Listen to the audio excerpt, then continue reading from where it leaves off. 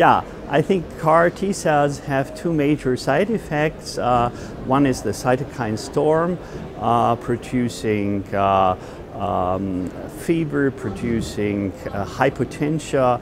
Uh, on, on, the other hand, neurotoxicity, uh, causing dizziness of the patient, aphasia, sometimes even alteration of, of, of, of the mood. So we have seen depressive and also aggressive patients after treatment with CAR T cells.